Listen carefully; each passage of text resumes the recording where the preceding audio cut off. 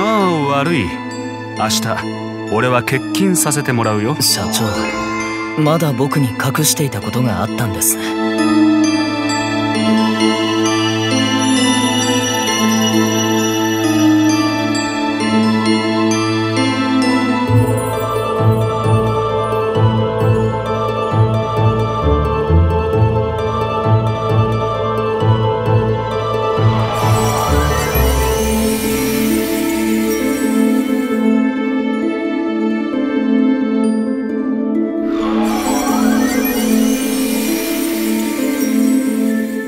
仮にジョーさんに裏の顔があったとしても並大抵のことじゃ正体を暴けない。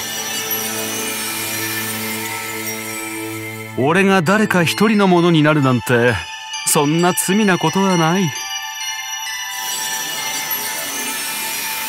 感謝しているよ。根なし草のこの俺に居場所を与えてくれて。